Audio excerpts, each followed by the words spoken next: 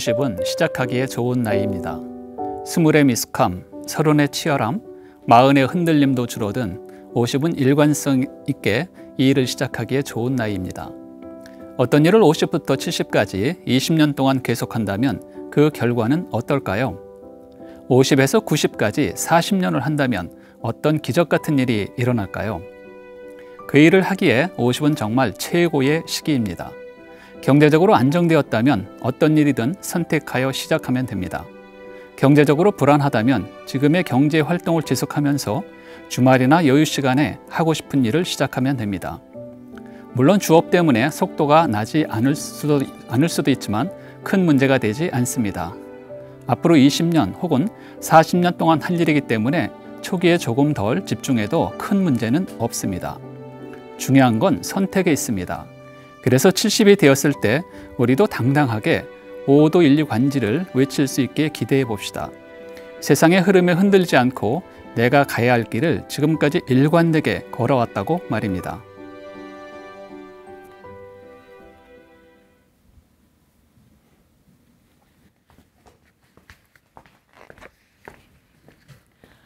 변화하는 세상을 만나는 가장 빠른 길, 내 방에 앉아 다른 이들의 삶을 경험하는 가장 쉬운 방법, 여러분의 감성, 지성, 품성, 그리고 호기심까지 가득 채워줄 만만한 책. 안녕하세요. 저는 진행을 맡은 컨텐츠 프로듀서 이진아라고 합니다. 반갑습니다. 하늘이 내린 군주라 불리는 세종대왕은 책 하나를 잡으면 100번을 읽고 100번을 쓸 정도로 책을 좋아했다고 하는데요. 아버지인 태종이 방 안의 모든 책을 치워버릴 정도로 책을 좋아했다고 합니다. 특히 대학 연의를 좋아해서 신하들에게 많이 추천했다 하고요. 그리고 또 나폴레옹은 전장에서 젊은 베르테르의 슬픔을 자주 꺼내 읽으면서 심리적 여유를 가지는 게 전쟁의 전략의 원천이 됐다고 합니다. 이렇게 세상을 빛낸 위인들이나 많은 사람들이 책 속에서 길을 찾기도 하고 삶에 대한 질문을 배우기도 합니다. 동서고금을 막론하고 많이 읽힌 책, 삶의 지혜가 필요할 때 가장 많이 인용되는 내용이 담긴 책, 어떤 책일까요? 맞습니다. 논어입니다. 같은 책도 읽는 나이에 따라서 굉장히 다르게 다가온다고 하는데 오늘은 최종엽 저자님 모시고 50에 읽는 논어에 대해서 여러분과 함께 이야기 나눠볼까 싶습니다. 어서 오세요. 네. 만나 뵙고 싶었습니다. 반갑습니다. 네, 반갑습니다. 네, 시청자 여러분께 인사 한번 해주시겠어요? 네. 안녕하세요. 저는 그 카이러스 경영연구소의 최종엽 대표입니다. 여러분 뵙게 돼서 반갑습니다. 네, 오늘 어, 책에서 가장 소개하고 싶은 구절을 읽어주시도록 저희가 청했는데 네. 이 구절을 특별히 택한 이유가 있으실까요? 제가 이제 그 한 20년 정도 직장 생활을 하고 네. 40대 중반에 예, 독립을 하게 됐는데요. 네네. 제가 40대를 넘고 50대를 어떻게 보냈는가를 좀 세상을 해보니까 어, 한편으로는 이제 먹기 살기 위해서 주업으로 일을 좀 해야 됐고요. 또 하나는 일을 하면서도 좀 더 미래에 내가 하고 싶은 일을 할 수 없을까라는 생각을 가지고 일을 해보니까 어, 이게 두 개, 두 가지를 같이 이렇게 양립을 좀 할 수 있었던 것 같아요. 그래서 아, 네. 어, 우리가 이제 방법이 없다라기보다는 이제 음. 목표 정도가 없기 때문에 좀 너무 힘든 게 아닌가 이런 생각을 좀 가져서 그 대목을 좀 읽어드렸습니다. 아, 네. 삶에 힘을 주는. 네. 책을 50에 읽는 노노라는 책을 쓰게 된 어, 동기는? 이 나이대를 보면은요. 네네. 예, 우리가 인생을 보니까 한 55세라고 하는 것은 네네. 어, 30세에서 80세의 딱 중앙이더라고요. 그래서 그... 아. 30세부터 아주 정말 열심히 일을 네네. 한 20년, 25년 정도 해보고 나서 맞이하는 게 인생의 하프타임에 50 정도인데 네네. 가만히 생각해 보면 55세가 되더라도 그 뒤에 또 한 80까지만 보더라도 음. 25년이 또 있는 거예요. 그래서 야 이게 보통 우리가 생각할 때 50, 55 이러면은요 좀 약간 좀 허무하다. 음. 인생 전반전을 쭉 열심히 살았지만 뭔가 좀 남는 것도 많은 것 같지 않고요. 뭐 직장에서도 그렇고요. 가정에서도 야, 이거 잘못하다가 이게 내가 섬이 되겠구나, 이게. 음. 이렇게 생각을 해볼 수가 있고 좀 허무하고 뭔가 목표를 세우기에는 늦은, 늦은 게 아닌가. 이렇게 네. 이제 적지 않은 사람들이 생각을 하는데 어, 제가 생각을 해보니까 시간적으로 보면 아직도 25년 이상의 시간이 남았기 때문에 어, 이것은 그냥 우리가 이렇게 숨어 지낼 거 아니고 이렇게 움츠리고 있을 게 아니라 뭔가 새로운 목표를 충분히 잡을 만한 그런 시기가 아니, 아니겠는가라는 생각이 들었고요.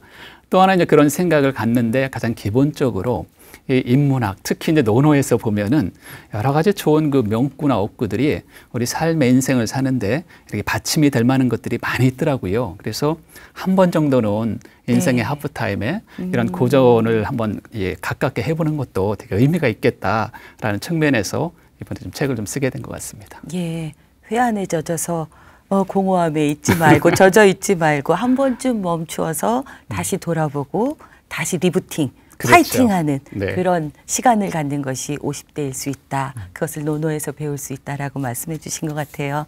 네, 그래서 더 강의가 기대됩니다. 네, 강의 부탁드리겠습니다. 네.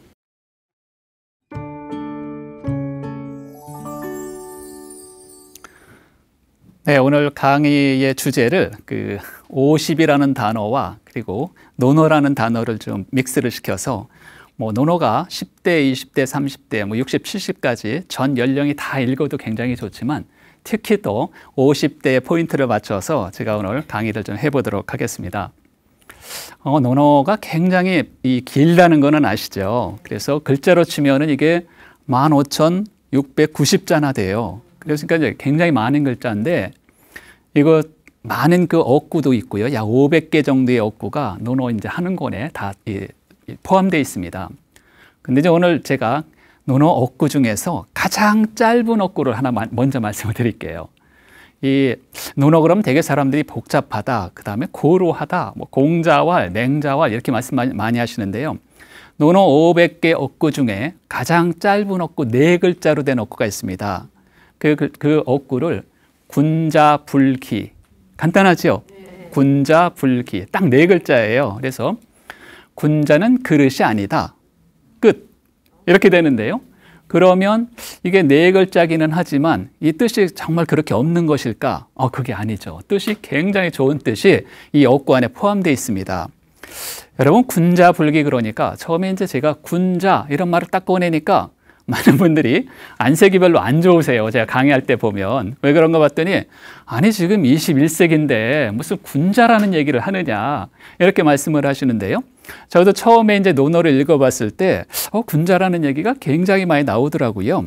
그래서, 그, 그런데 군자라는 저 뜻이 이게 정말 옛날 사람들이 아주 뭐 임금, 임금의 아들 혹은 도덕적으로 탁월한 사람, 이런 사람들을 보통 가리켰기 때문에 현대인들에게 군자 그러면 되게 좀 어색해하죠. 그래서 이제 과연 영어에서는 군자를 뭐라고 번역을 했는가를 봤더니 제가 본 책에서는 젠틀맨 이렇게 번역을 했어요. 그러다 보니까 영어에서는 신사 이 정도로 본 거지요. 그래서 이제 제가 군자 불기 저 네 글자를 이제 해석을 한번 해볼게요. 군자는 그릇이 아니다 이런 뜻보다는 군자는 그 쓰임새가 한정된 그릇과 같은 존재가 아니다. 이런 뜻이지요. 이거 군자를 리더로 바로 바꿔볼게요. 리더는 그 쓰임새가 한정된 그릇과 같은 존재가 아니라는 뜻이죠. 현대인들은 저는 전부 다 리더라고 생각해요.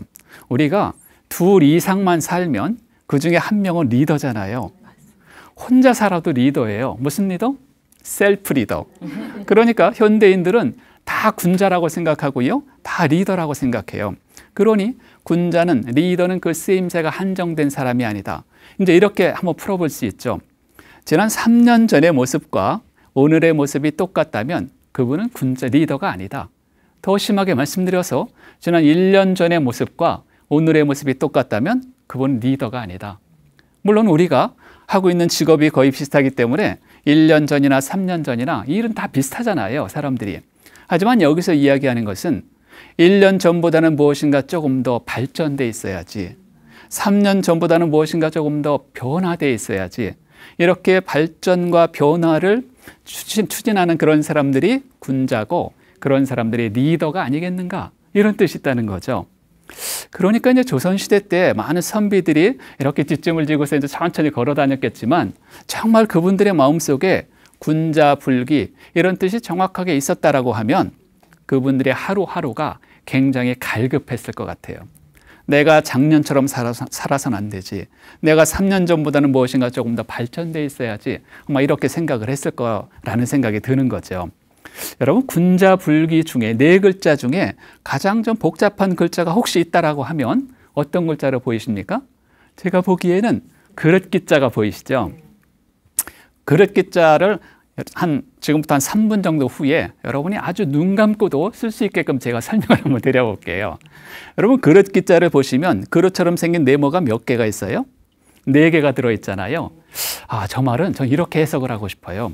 저게 이제 수천 년 전에 만들어진 한자인데 우리가 인생을 살면서 크게 네 번 정도 큰 변화를 해봐라. 네 번 정도 정말 멋진 그릇이 돼봐라. 예전 분들이 이렇게 이런 말씀하시잖아요. 인생은 세 번의 기회가 있다. 이렇게 말씀을 하시는데 저 그릇 기자 속에는 네 번의 기회가 있는 것 같아요. 자, 여러분, 인생의 첫 번째 그릇은 언제 만들어질까요? 제가 생각할 때는 태어나서 25세 정도라고 생각해요. 제가 태어나고 보니까 예를 들어서 저희 아버지가 돈도 많고 그 다음에 교육열도 높아서 이미 20대 중반에 아주 훌륭하게 되는 사람들도 우리 사회에는 일부 있잖아요. 많지는 않지만 그분들은 인생의 첫 번째 그릇을 좀 잘 만들었다라고 생각해요. 자, 인생의 두 번째 그릇은 언제 만드는가? 전 25세에서 50세라고 생각해요. 내가 대학을 어디를 나왔든, 내가 출신 지역이 어디든, 내가 잘생겼든, 못생겼든 다 리셋하고요. 20대 중반에 어느 기업에 들어가서 혹은 20대 중반에 어떤 사업을 시작을 해서 그로부터 20년, 30년 꾸준하게 일을 했다라고 하면 자기만의 그릇이 되잖아요. 지금 우리 사회에는 그러신 분들이 굉장히 많이 있는 거죠. 자, 인생에는 또 세 번째 그릇도 있다. 50세에서 75세라고 생각해요. 인생의 3라운드죠. 우리가 보통 어르신분들 그렇게 생각하 말씀하시죠. 야, 인생을 제대로 이야기하려면 대략 한 50년을 살아봐야 된다. 이런 말씀하시잖아요. 그러니까 한 50년 정도 살아보고 나서 인생의 하프 타임에 과거를 딱 되돌아보고 지금까지 살아왔던 삶이 어, 마음에 들어. 너무 좋았어. 여러분 그냥 계속 가시면 돼요. 누가 뭐라고 하지 않잖아요. 그 패턴대로 가시면 되는데 지난 20, 50년을 되돌아보니까 야 뭔가 좀 아쉬운 점이 있어. 내가 만약에 과거로 되돌아간다면 조금 더 잘할 수 있었는데 이런 생각이 들 수가 있잖아요. 그런데 우리가 과거로 돌아갈 수는 없고 그럴 때 생각해 볼게 변화라는 거죠.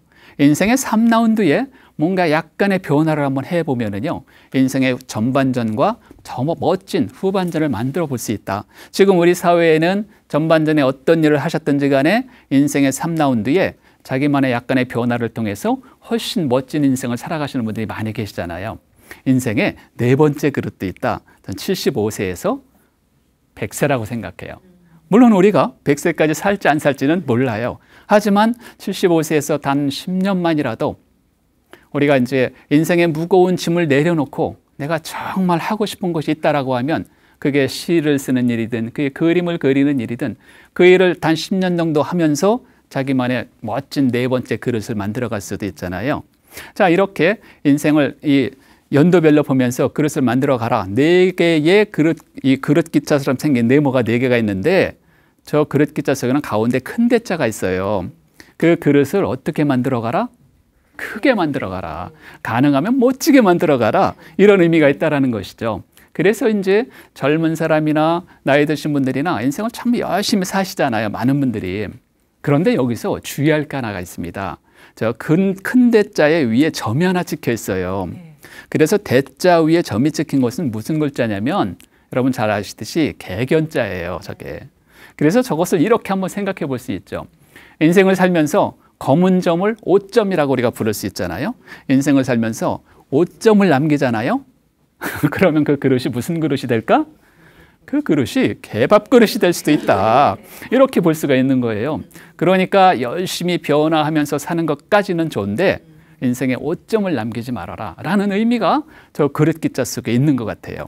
자, 그러니까 군자 불기. 군자는 그 쓰임새가 한정된 그릇과 같은 존재가 아니다.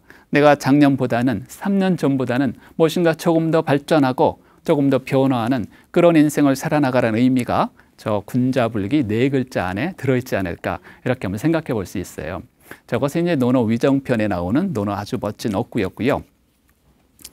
자, 이번에는 이제 네 글자만 말씀드렸는데, 자, 이번에는 여덟 글자짜리 논어구를 한번 말씀드려 볼게요. 논어는 많은 분들이 뭐라고 얘기하냐면 굉장히 뜻이 간단하면서도 명료하다. 이런 얘기를 많이 해요. 그래서 하나를 딱 이렇게 외워 놓으시면은요. 뜻을 저처럼 이렇게 군자불기 이렇게 해석하셔도 되고요. 또 책을 읽으시는 분들이 또 다르게 해석하셔도 괜찮아요. 왜? 한문의 뜻은 여러 가지가 들어있기 때문에 그런데요. 지금 저 성상근야, 습상원야라는 저 여덟 글자 속에 정말 기가 막힌 뜻이 들어있다라고 생각해요. 왜냐하면 우리가 정말 인생을 살면서 성공이 있다, 혹시 실패가 있다라고 하면 그건 왜 그럴까? 이 사람은 뭐 좋은 학교를 나와서, 이 사람은 키가 커서, 이 사람은 IQ가 좋아서 성공하는 게 아니라 다른 것 때문에 성공한다는 거예요. 그게 성상근야 습상원야 속에 글이 있는데요. 제가 첫 번째 줄을 네 글자를 설명드려 볼게요. 성상근야. 이 성자는요, 사람의 본성, 사람의 천성, 사람이 가지고 태어나는 거 있잖아요. 그러니까 부모님으로부터 가지고 태어나는 것은 사람들은 거의 다 비슷비슷하다라는 거예요. 그러니까 우리가 아주 이 아기 그 어린아이 태어나는 거 보면 사실 비슷비슷하잖아요. 특히 이 세상에서 가장 이 천성이 비슷한 사람들이 제가 생각하기에는 형제 자매라고 생각해요. 왜? 부모님이 같으시니까. 그런데 형제 자매가 이렇게 있는데요. 한 50년, 60년 살아보면 예를 들어서 형은 이렇게 성공해 있고 아직 동생은 아직도 힘들게 살고 있다라고 하면 그 이유가 도대체 뭘까? 가지고 태어나는 게 아니라는 거예요.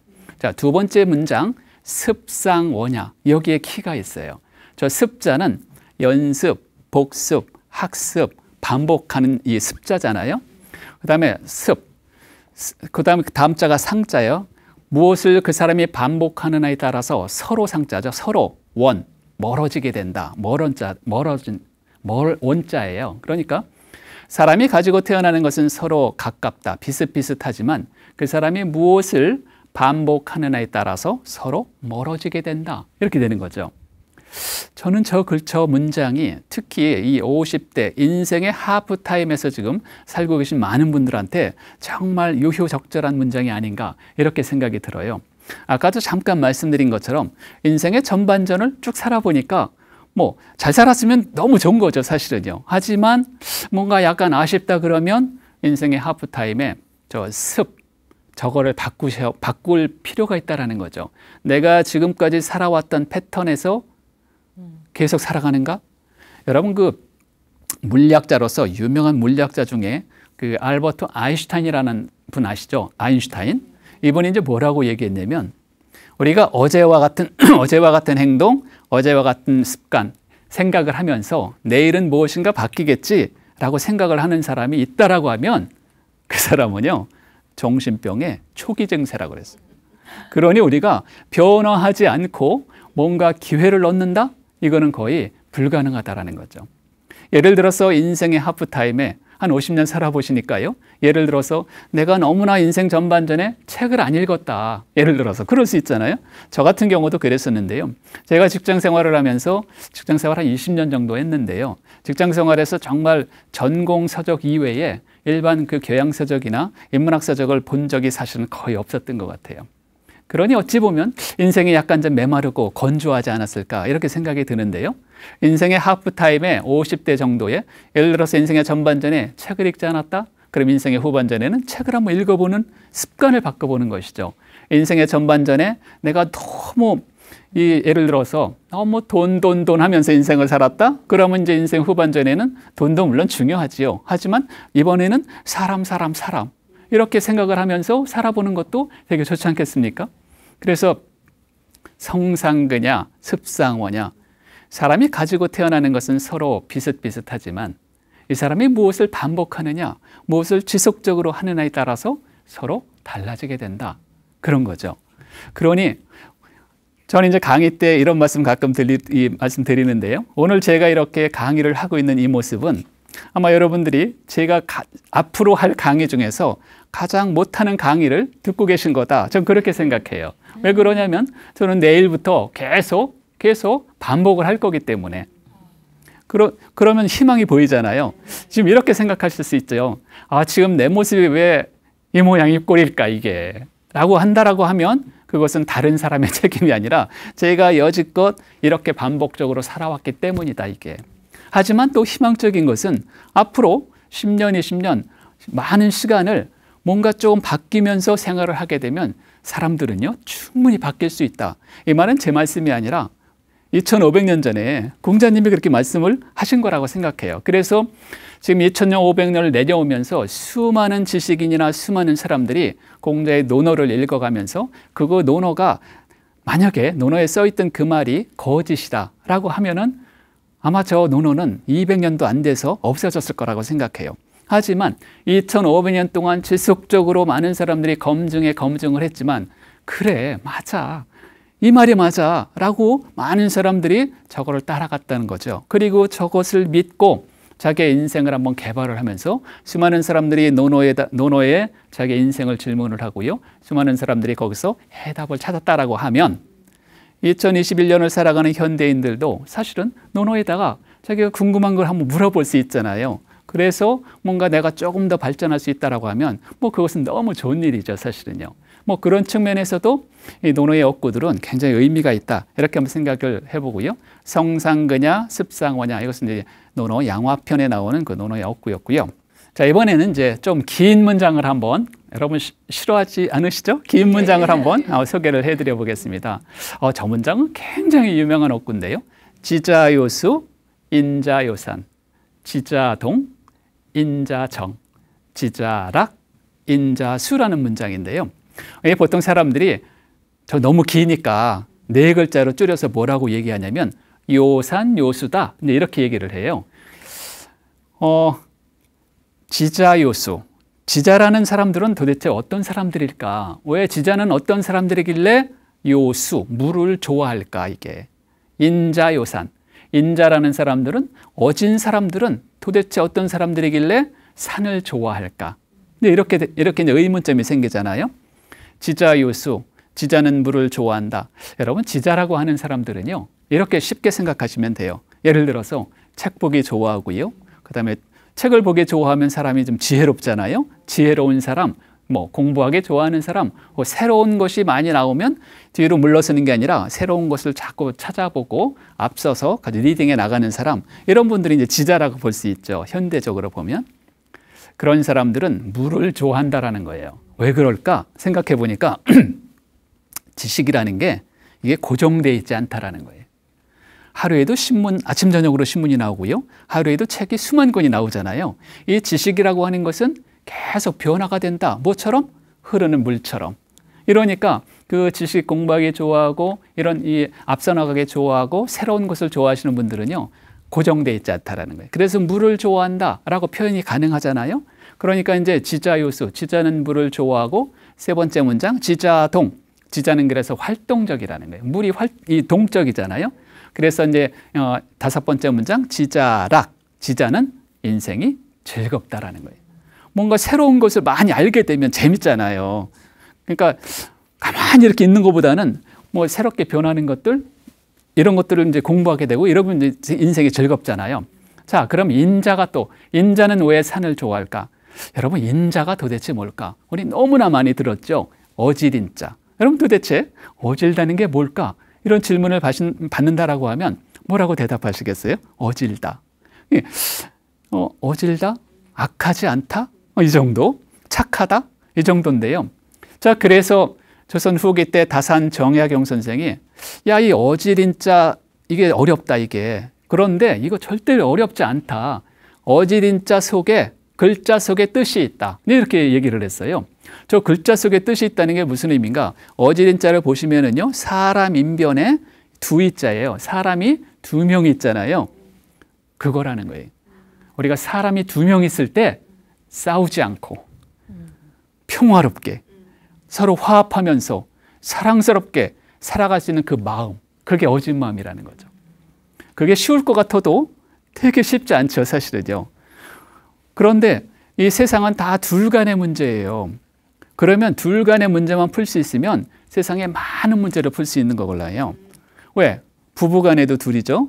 부모와 자식 간에도 둘이죠. 나와 부모, 이, 뭐, 학교에서는 이제 제자, 선생, 직장에서는 동료, 선, 상사, 선배, 뭐 고객까지도 죄다 둘간의 문제잖아요. 그러니까 둘간의 문제만 잘 풀 수 있는 방법이 뭐다? 그게 어진 마음이다. 어진 마음을 두 가지로 간략하게 말씀드리면 하나는 사랑하는 마음이에요. 사랑의 자. 또 하나는 용서하는 마음이에요. 서, 용서의 서자가 있어요. 사람을 사랑하고 사람을 용서하는 마음이다. 자, 인자유수.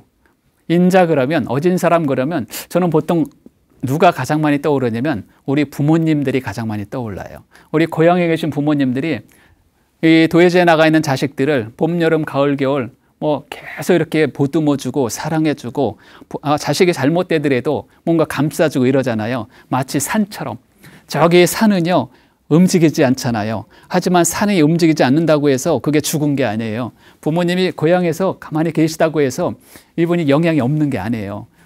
그러니까 산에 들어가면 너무 많은 것들이 있잖아요. 인자의 마음도 마음속으로는 그런 게 있죠. 하지만 누군가를 용서해주고 누군가를 포용해주고 이러면은요 누구 마음이 더 편해질까? 물론 사랑받는 사람의 마음도 편해질 수 있지만 사랑해주는 사람의 마음이 더 편해질 수 있잖아요. 그러면 조용한 인자의 마음이긴 하지만 누군가를 포용하고 용서하면 나도 마음이 편해져서 더 오래 살 수 있다. 라고도 볼 수 있는 거죠. 저 의미가 바로 그런 의미인데요. 이걸 이제 현대적으로 약간 좀 풀어보면 이렇게도 풀어볼 수가 있어요. 우리가 직장 생활을 한 30년 만약에 한다라고 했을 때 직장 생활의 전반전 15년은 지자의 삶을 사는 게 좋겠고 직장 생활의 후반전 15년은 인자의 삶을 사는 게 좋겠다. 그래서 직장 생활 사원 대리 과장 이렇게 젊었을 때는 막 뛰어다니고요. 막 공부하고요. 새로운 게 나타나면 빨리 연구하고요. 그런 습성이 회사에도 좋잖아요. 회사 분위기도 좋고 하지만 이제 부장이 되고 임원이 되고요. 뭐 사장급이 되면은 이제 뭘 바뀌어야 돼요? 마음으로 바뀌어야 돼요. 왜? 이 퍼포먼스 성과라고 하는 것은요. 나 혼자서만 잘 내서 되는 게 아니에요. 임원이 됐으면은요. 임원으로 자기 팀 안에 팀 안에 50명이다. 그럼 50명의 마음을 살 수 있어야 함께 성과를 낼 수 있게 되는 거걸라요. 그래서 이 그렇게도 볼 수 있고 우리가 정말 100세까지 살 수 있다라고 하면 인생의 50년은 지자의 삶을 살고요. 인생의 후반전 50년은 인자의 삶을 사는 게 좋겠어요. 그래서 아직 50, 60 정도 안 됐다 그러면 좀 더 공부하시고요. 책도 보시고요. 활동적으로 사시고요. 이제 가정에서 어른이 되셨다. 우리 사회에서 어른이 됐다. 그러면 이제 조금 더 마음을 열어놓으시고요. 이 젊은 사람들을 뭔가 이렇게 복돋아주고 용서해주고 포용해주고 이러면 우리 사회가 젊은이는 열심히 뛰어다니고 어른들은 용, 이 사랑으로 감싸주는 이런 사회가 되지 않을까라는 측면에서 지자요수, 인자요산, 지자동, 인자정, 지자락, 인자수라는 저 여섯 여섯 문장은 정말 우리 삶에 있어서 두 가지 축이 아닐까 이게 지자의 축, 인자의 축 이렇게도 한번 생각해 볼 수 있을 것 같습니다. 그 노노에는 정말 기가 막히게 제가 생각하기에는 그래요. 정말 기가 막히게 현대인들에게도 이 활용할 수 있는 정말 좋은 억구들이 너무 많이 있습니다. 노노에는 아까 말씀드린 것처럼 500개 억구가 있다라고 했는데요. 제가 지금 딱 세 개 말씀드렸습니다. 자, 네 번째 억구를 말씀드려 볼게요. 불왈 여지하 여지하자 오말 여지하 야이의 라는 이제 좀 긴 문장인데요. 여기서 이제 뜻을 보시면은 너무 이건 어렵진 않아요. 여기서 포인트는 여지하예요. 여지하. 이 하자가 어찌 하자예요. 그래서 여지하는 세 글자를 해석을 하면 어찌하면 좋을까? 이렇게 하시면 돼요. 두 개, 두 번이 반복이 됐잖아요. 어찌하면 좋을까? 어찌하면 좋을까라고 말하지 않는 사람은 첫 번째 줄은 그렇게 돼요. 어찌하면 좋을까? 어찌하면 좋을까라고 말하지 않는 사람은 오말 여지야 야이 나도 너를 어쩔 수가 없구나. 이렇게 이제 공자가 제자들한테 얘기를 한 거예요. 자, 그러니까 문제는 누가 풀어 누가 풀어야 된다? 제자들이 풀어야 된다. 당신들이 풀어야 된다. 내가 풀어야 된다 이런 거죠. 왜? 어찌 해야 할까? 어찌 해야 할까? 이렇게 궁리하지 않으면 정말 세상에 풀릴 일이 거의 없는 거고요. 또 다른 사람이 풀어주면은요, 그건 그때만 풀릴 수 있는 거죠. 또 새로운 문제가 발생했을 때 또 못 풀어요, 그거를요. 그러니 인생의 패턴에서 어찌하면 좋을까? 어찌하면 좋을까? 불활 여지야, 여지하자, 오말 여지야, 야이의. 저는 저 억구를 볼 때마다 우리나라 그 이 어, 현대그룹의 정지영 회장님 생각이 가끔 많이 나는데요. 이렇게 말씀하셨다고 하잖아요. 이봐, 해봤어? 이런 말씀을 하셨다고 했는데요. 왜 해보지도 않고 안 된다라고 얘기하는가? 이 말은 이제 조직에서도 많이 쓸 수 있지만 저는 저 말은 저희 인생에 있어서 특히 50대 하프타임을 살아가는 많은 사람들이 여지하, 어찌 해야 할까? 어찌 해야 할까? 우리가 좀 더 50대 인생의 전반전은요, 우리가 많은 사람들이 힘도 있고 조직 생활 하기 때문에 자기가 약간 좀 잘못하더라도 이렇게 좀 어, 묻혀갈 수도 있는 거걸라요, 사실은요. 하지만 인생의 후반전이 되면은 오로지 나의 힘으로 뭔가 조금씩이라도 발전시키지 않으면은요, 정말 많이 처지게 돼 있는 것 같아요. 그래서 작더라도 여지하, 어찌 해야 할까? 어찌 해야 할까? 이렇게 반복적으로 스스로 궁리를 해야 뭔가 좀더 달라지거나 아까 초기에 말씀드린 것처럼 우리가 그릇을 만들 때 네 번째, 세 번째 그릇을 만들 때 저러한 정신이 꼭 필요하지 않을까 이런 생각에서 이제 말씀을 좀 드렸고요. 오늘 제가 이제 그 딱 네 가지 억구를 말씀드렸어요. 근데 논어에는 아까 말씀드린 것처럼 500개 억구가 있다라고 말씀드렸잖아요. 자, 몇 퍼센트 말씀드렸습니까? 1%도 말씀을 못 드렸습니다. 그래서 물론 뭐 시간이 한정적이기 때문에 이렇게 말씀을 드렸는데요. 논어에는 아까 말씀드린 것처럼 그 많은 억구들이 이렇게 있어 갖고서 뭐 어, 지금 말씀드렸던 네 가지 억구가 제일 중요하다. 아, 이게 아니라요. 수많은 억구들이 아까도 연령대별로 20대에서는 이러한 문장, 30대에서는 이러한 문장, 그런 문장들이 정말 요소 요소에 필요성들이 굉장히 많더라고요. 그래서 음, 이 그런데 이제 제가 가끔 듣는 이 질문 중에 하나가 이런 거 있어요. 그럼 노노는 어떻게 공부를 해야 좋을까? 너무 어렵다라고 하는데 그래서 어떻게 하면 좋을까? 그래서 사실은 정답은 사실 없죠. 각자에 맞춰서 하는 게 정답이긴 한데 그래도 약간의 힌트를 드리자라고 하면 오늘처럼 이렇게 몇 가지 없고만이라도 어, 몇 가지 얻고만이라도 이렇게 이제 공부를 들어보시고 책을 보시고 보시면서 이거를 내 걸로 만드시는 거잖아요. 저도 사실 논어고 하나 외우는데 굉장히 시간이 많이 걸렸습니다. 어떤 거는 일주일씩 걸리기도 했고요. 하지만 하나를 딱 이렇게 알아놓으면은요, 여러 군데 가서 이렇게 활용하기가 너무 좋고요. 그리고 3년 전에 외웠던 그 논어 억구와 그 똑같은 억구인데도요, 올해 그거를 생각해 보면 달라요. 뭔가 다 많이 달라요. 같은 문장에서도 많은 것들을 저희가 배울 수 있기 때문에 아마 이 동양의 사서 삼경이 다 중요하지만 특히 논어 같은 경우는 이 검증이 된 책이라고 전 개인적으로 생각을 해요. 왜 사람들이 고전이라고 얘기를 하는가? 고전은요, 최소한 100년 이상이 묵어야지 고전이 된다라는 얘기가 있습니다. 예, 그러니까 지금 1921년도 이후에 나온 책들은요, 아직 고전의 반열에 들어가려면 아직 멀었어요. 그런데 저 논어는 몇 년이 됐다고요? 2,500년이 됐단 말이에요. 그러니까 정말 저 이 논어만큼 이 많은 사람들한테 영향을 끼친 책도 저는 적다라고 생각하고요. 오늘 비록 제가 1%밖에 말씀을 못 드렸는데 여기서 다가 아니, 아니다라고만 생각을 해주시면 고맙겠습니다. 자, 이상으로 마치도록 하겠습니다.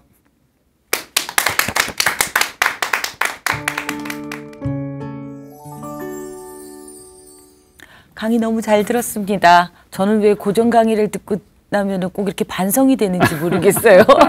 많은 생각이 머릿속을 아. 왔다 갔다 하고. 예, 논어를 모르는 사람은 없지만 또 대부분의 사람들 전공자조차도 논어를 어렵다고 얘기하거든요. 네. 예. 그럼에도 불구하고 또 저희 선생님께서는 작가님께서는 어, 공대생으로 저는 네. 알고 있습니다. 이과 전공자인데도 논어를 강의의 주 음. 테마로 삼을 정도로 많이 공부를 하셨는데 예, 어떻게 그렇게 되셨나요? 어, 음. 자 이제 그 논어가 저한테 이렇게 접하게 된 것은 아주 우연인데요. 네네. 제가 딱 50 나이 지천명 딱 네네. 50이 되었을 때 저희 사무실이 여기 잠실에 있어요. 석촌호수 옆에 있는데 아. 석촌호수를 이제 점심시간마다 제가 돌아요. 2.6km라 약 한 40분 정도 걸리는데 한번 심심하더라고요. 그래서 이제 천자문을 써갖고 네네. 천자문 한 여덟 자씩 이렇게 써가지고 나갔어요. 나가서 이걸 외워보니까 어, 이거 의외로 재밌더라고요. 나이가 이제 좀 먹어서 그걸 시작해서 그런지 그래서 이제 이 작업을 한 1년 정도 뭐 계속 지속적으로 한번 해보니까 어, 이제 천자문을 대략 알겠더라고요. 네. 어, 그래서 그 옆에 있는 이제 서점에 가서 보니까 그때서야 논어책이 이제 눈에 보이는 거예요. 그래서 이제 두꺼운 논어책을 하나 사갖고 음. 그걸 이제 집에 와서 계속 봤죠. 봤는데 네네.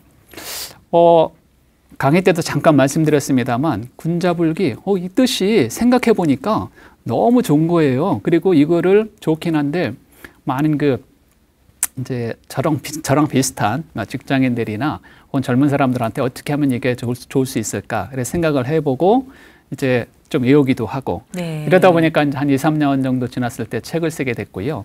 그래서 그 책을 쓰니까 또 강의도 하게 됐고요. 네네. 그러다 보니까 어 비록 아까 전 사실 전자공학 전공했는데 그러니까요. 그, 어, 그 인생의 후반전에 이게 논어가 갑자기 저한테 들어와서 이게 이제 많이 이렇게 변화를 지금 주고 있는 것 같아요.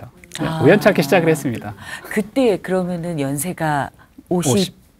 이었나요? 네. 아, 50의 공자를 만난 거네요. 그렇죠. 야말로 와, 그렇군요. 이렇게 빠르게 변화하는 세상에 사실 고전을 읽어야 되나? 바- 변화하는 세상을 따라가면서 리딩하기도 너무 어려운 그렇죠. 세상인데, 예, 고전을 다시 읽어야 되는 이유, 고전을 읽는 것이라는 것에 대한 의미, 음. 네. 이런 말씀을 좀. 세상에는 네. 변화하는 것과. 변하지 않는 것이 있다라고 생각해요. 네, 네, 맞습니다. 우리가 이제 두 가지를 다 따라가야 된다고 생각하는데 그 1949년도 그 칼 야스퍼스라는 사람이 뭐라고 네. 얘기를 했냐면 축심 시대라는 말을 처음으로 꺼냈어요. 축심 시대. 아, 축심 어. 시대. 이제 The Axial Age 축심 시대인데 이게 무슨 얘기냐면 인류 문명사의 일대 축을 긋는 굉장히 중요한 시기가 있었다는 거예요. 아. 이 시기를 우리가 보통 인류 문명사 그러면 뭐 구석기, 신석기, 청동기, 철기 막 이렇게 얘기를 하는데 이분은 기원전 200년에서 기원전 800년 사이가 굉장히 중요한 시기다. 음. 왜냐면은요. 공자도 그때 태어났고요. 석가모니도 그때 태어났고요. 소크라테스, 플라톤, 아리스토텔레스, 뭐 오. 맹자, 세상에 위대한 위인들 다 그때 태어났네요. 네. 맹자, 무슨 뭐 그리고 손자, 오. 이런 순자 이런 사람들이 다 그때 태어. 사실 이분들이 만들었던 그 뭐 종교라든지 철학이라든지 이것이 서양에서 지금까지 마찬가지고요. 동양은 이제 공자, 맹자 사상이었고 서양은 소크라테스, 플라톤 사상이었다는 거죠. 이게 2000년 이상 이렇게 내려왔기 때문에 우리가 지금 힘들다라고 하면 우리 아버지 세대도 힘들었을 것이고 저 조선 시대 때 스- 현인들도 힘들었을 것이고 역사적으로 수많은 사람들이 힘들었을 텐데 그 중에서 아주 현인들이 인류의 현인들이 나타나서 인생을 풀어놓은 거잖아요. 인생의 네네. 노하우를 다 정리해 놓은 거잖아요. 그게 어디에 들어가 있어요?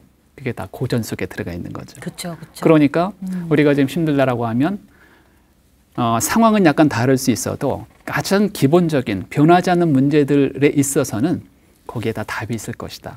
이래서 사람들이 좀 힘들수록 고전을 좀 찾아보는 게좀 뭐 여러 가지 방법 중에 네, 하나가 네. 되지 않을까 네. 이렇게 생각을 해요. 변화가 많으면 많을수록 변하지 않는 음. 것에 집중해 보는 것도 삶의 중심을 잡는데 그렇죠. 예, 방법이 아닐까 싶은 생각이 드네요. 그렇다면 논어, 논어를 한마디로 정의한다면 아. 예, 어려운 질문입니다. 예, 그걸 한마디로 이, 이 2,500년 된 어, 논어를 한마디로 어떻게 정리할 수 있을까만은 예, 네. 제가 한번 정리 한번 해보겠습니다. 네네네네. 어, 어떤 책이든 예. 첫 번째 문장이 되게 중요하다. 이런 얘기를 많이 하더라고요, 저자들이. 아. 그래서 첫 번째 문장을 만드는데 참 머리를 많이 쓴다고 하시는데 음. 논어가 바로 첫 번째 문장이 어떻게 되냐면요. 네. 하기 시습지 불영녀로 많이 들어보셨을 거예요. 드디어 아는 게 네, 나왔습니다. 배우고 때때로 익히면 있던 이 기쁘지 아니한가 유붕 자원 박내 불령 낳고 사람들 친구들이 있어 멀리에서 찾아오면 이 또한 즐겁지 아니한가 네네. 인부지불원 불력군자호 음. 사람들이 나를 알아봐 주지 않아도 크게 거기에 개의치 않는다라고 하면 이 사람이야말로 군자 리더가 아니겠는가 이런 뜻인데요. 이 첫 번째 문장은 잘 고민해 생각해 보면 이것은 군자가 되기 위한 즉 리더가 되기 위한 네. 삼 3단계를 얘기를 해주는 거라고 전 생각해요. 자, 아. 첫 번째 리더가 되기 위해서는 학위 시습지 불영녀로 해서 학습 학습이 네네네네. 나오잖아요. 네네. 배우고 익히는 것. 그러니까 리더가 되기 위해서는 누가 뭐래도 공부해야 공부해야죠. 된다. 자, 두 아. 번째 유봉자원 방내 불령 낳고 멀리에서 친구들이 있어 찾아오면 기- 즐겁지 아니한가. 친구를 조금 더 확대 해석하면 요즘으로 얘기하면 직장에서의 동료라든지 네네. 여러 같이 함께 일하는 사람들 우리가 직장이나 조직에서 함께 있다고 해서 늘 즐거운 것만은 아니잖아요. 그렇죠. 힘든 것도 되게 많죠. 네네네. 하지만 리더들은 그 힘든 것을 좀 즐거운 것으로 만들, 만들어낼 수 있는 그런 역량을 키울 수 있는 사람라고 볼수 있죠. 자, 세 번째, 인부지불원 불력군자오. 사람들이 나를 알아봐 주지 않아도 거기에 크게 개의치 않는다면, 화내지 않는다면 리더, 리더다, 이게. 자, 그럼 마찬가지죠. 네네. 리더라고 하는 분들은 내가 다른 사람들한테 인정을 받으면 너무 좋아하고, 인정 못 받으면 시무룩해지고, 이게 아니라 내가 하고 있는 일이 맞다라고 하면 다른 사람들이 어떻게 평가를 하던 keep going 할수 있는, 계속 갈 수 있는 그러한 주체성이나 역량이 있는 사람. 자, 이러고 보니까 노노에는 배움에 대해서 학위 시술에서 배울 학자가요. 60번 이상이 나와요. 그 다음에 관계에 대해서도 수많은 문장이 나오고요. 특히 네. 군자에 대해서도 100번 이상이 나오걸라요. 아, 그러니까 결론적으로 말씀드리면 노노는요 군자학이다 이렇게 말씀드릴 수 있는데요. 이걸 요즘 말로 바꾸면 리더학이다 이렇게 볼 수 있습니다. 아, 노노는 그러네요. 리더학이다. 자 여러분 현대인들이 리더가 아닌 사람이 어디 있습니까? 다 리더를 꿈꾸고 있는 사람들인데요. 이분들이 정말 논어를 읽어보신다라고 하면 수많은 좀 기가 막힌 리더십들을 인성, 품성, 관계 이런 리더십들을 논어에서 정말 많이 캐치할 수 있을 거라고 생각해요. 논어는 아. 리더학이다. 이렇게 정리 한번 해볼 수 있을 것 오, 같아요. 명쾌한데요. 네네. 자, 이제 새해도 시작되는데, 음. 예, 한마디로 시청자 여러분들을 위해서 마무리로, 예, 이런 문구를 하나 권하고 싶다라는 게 네. 있다고 하시면, 그 1500년대 공자가 이런 말을 했습니다. 인무원려 필유근우다. 음. 아, 필유근우. 필이 인생이라고 하는 것은 필이 가까이에 근심 걱정을 가지고 있다. 이게 네. 누구나의 인생이다. 이거를 풀 수 있는 방법이 무엇인가? 인무원려. 원려라고 그랬거든요. 멀리를 생각하라. 사람이 멀리를 생각하지 않으면 늘 가까이에 근심 걱정이 있다. 이렇게 얘기를 했습니다. 그래서 어, 정말 뭐 환경적으로 요즘 힘들잖아요. 힘들기도 하고 뭐 새해가 또 되기도 하고요. 그러니까 이제 인무 원료 필력은후 한번 정도 더 그 내가 미래 원료 멀리를 생각해봐라. 꿈과 비전, 목표 이런 것들은 아이들만 필요한 게 아니라 좀 네. 이 지천명에 있는 계신 분들도 필요하지 않을까 네, 이렇게 네. 생각이 듭니다. 좀 길게 보는, 예, 그렇죠. 상당히 많이 와서 지쳐서 넘어지는 게 아니라 음. 앞으로도 먼 긴 것을 보면서 좀 더 준비하는 네. 그런 시간을 가지면 좋겠네요. 오늘 출연해 주셔서 정말 감사합니다. 많은 힘이 되셨을 것 같습니다. 저도 생각이 정말 많아지는 시간이었습니다. 네, 감사합니다. 고맙습니다. 네, 50세 누군가에게는 많은 나이라고 이야기를 듣고요. 누군가는 아직도 젊은 나이다라는 이야기를 듣는 나이입니다. 긍정과 부정은 한 끗 차이인 거 아시죠? 음료가 반 남은 컵을 보며 여러분은 어떤 생각을 하시나요? 반만 남았다고 생각하나요? 반이나 남았다고 생각하나요? 반이나 남았다고 생각하는 사람이 조금 더 여유 있고 행복한 삶을 살고 있지 않을까요? 상황을 바꿀 수 없다면 우리 생각을 바꾸는 것, 행복한 삶에 한 발자국 더 다가가는 지혜로운 태도가 아닐까 하는 생각을 해보네요. 자, 만만한 책 오늘은 여기까지입니다. 다음 주에도 유익한 책으로 다시 찾아뵙겠습니다. 감사합니다.